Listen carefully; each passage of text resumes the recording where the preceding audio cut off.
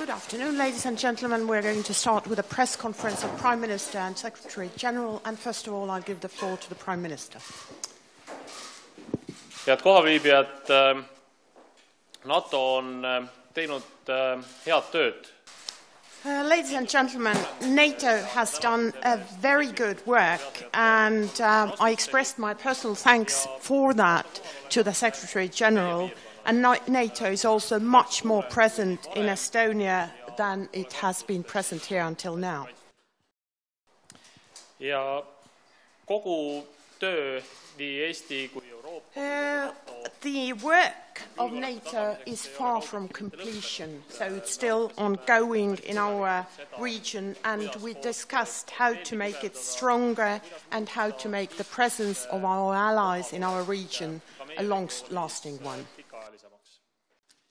ja Um, uh, something that is um, no less important is our contribution to our defense capability and our contribution to NATO's defense ca- uh, capability. And Estonia is one of those NATO allies who has always complied with the obligation in defense spending, which has always been 2% of our GDP. And I also assured Secretary General that Estonia's future contribution will also be unconditionally the same 2% of our GDP. ja loomulikult me rääkisime ka eesseisvast äh, NATO tippkohtumisest, mis toimub äh, septembris Walesis. praegu on äh, aktiivselt käimas selle tippkohtumise ettevalmistus Um, very active um, preparations are underway for the summit in Wales in September.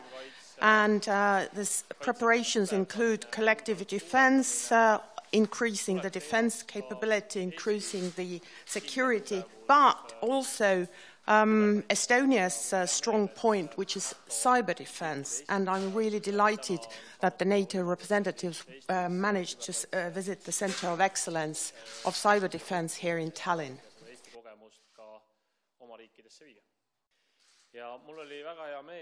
Um, I was also delighted to give the Secretary uh, General a present, which is a reminder of uh, the Danish present here, the presence here, namely a picture of the Danish F-16 at our airbase in Amari, and I'm particularly delighted because um, the Danish fighters that carry the flag of Denmark, that that flag was actually born not far from here, just a, a couple of hundred of meters. And we are definitely going to make everything to make the Danish um, crew welcome here.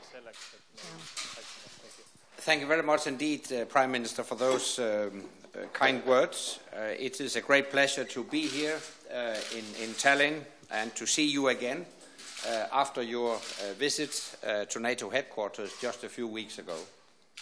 We thank you for hosting uh, the North Atlantic Council, uh, which is here uh, on a working visit to explore um, how we can enhance the alliance's collective defense and how we can enhance our cyber defense. Our visit is also a strong uh, signal of our solidarity. Uh, this is a very important time uh, for the alliance.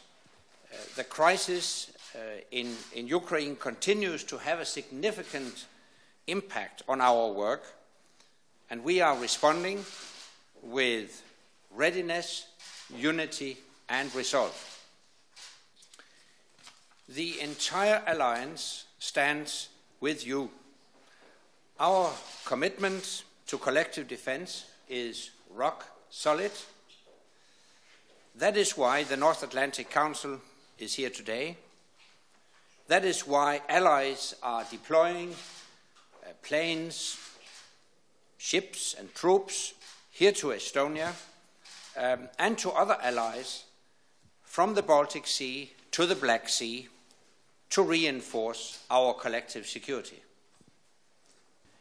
This crisis is a great challenge.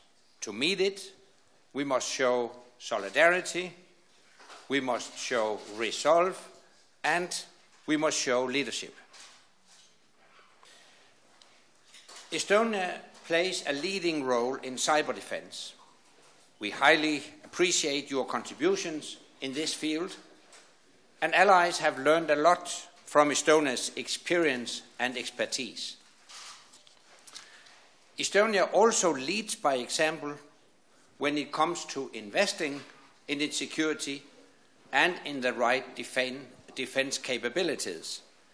You spend the right amount and you spend it smartly, including by cooperating with other allies to get more for your investments. And you make a strong contribution to our operations.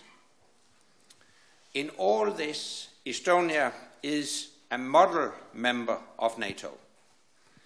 You lead by example, and I will look to you to continue showing that leadership as we prepare for our NATO summit in Wales this September, and as we continue to adjust to the new reality we face.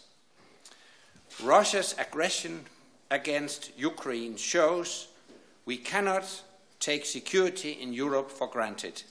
It shows that defense matters and that NATO provides for our collective defense.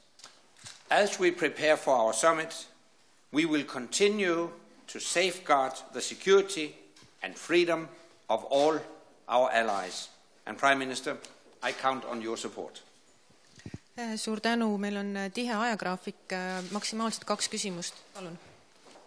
Right now, there is a military training in, in Spain, and uh, they are having a legend that Estonia will be attacked. And uh, right now, uh, we know that uh, Russian troops are also gathering behind the Estonian borders. And how would you estimate, the, and, and, your visit to Estonia, how are those uh, three things uh, connected? And do you really see any, any threats, any real threats to, to Baltics and Estonia? Thank you. Um, actually, I think that because of Estonia's membership of NATO, there is no imminent threat uh, against uh, Estonia.